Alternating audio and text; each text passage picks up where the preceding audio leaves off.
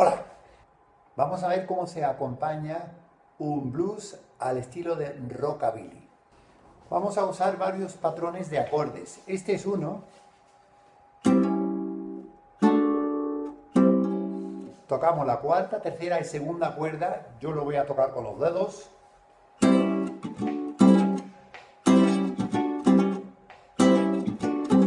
Y luego el otro es este. Entonces el patrón es así.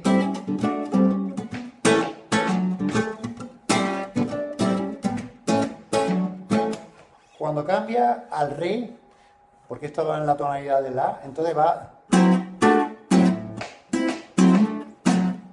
Y ahora vuelve otra vez al...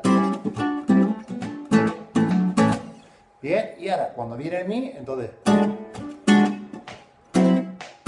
Y para terminar...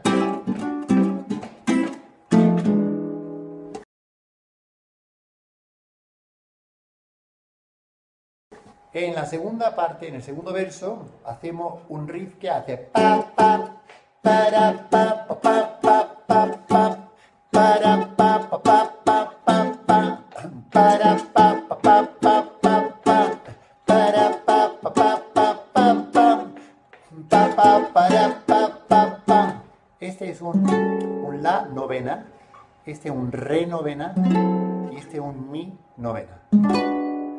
Y luego tenemos para terminar el verso del blues, que es un mi séptima, pues un fa séptima que va a un mi séptima. Aquí tenemos el riff.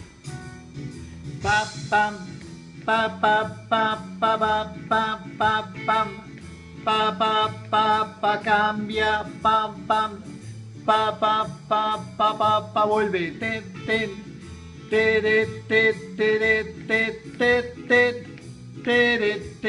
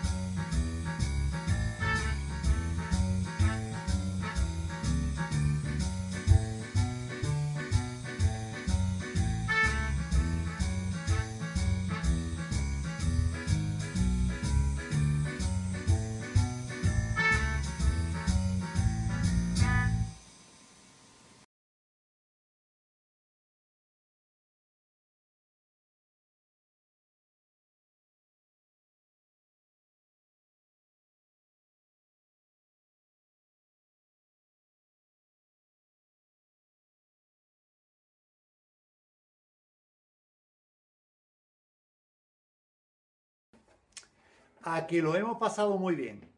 Pues aquí termina el vídeo y nos vamos a despedir. Hasta pronto.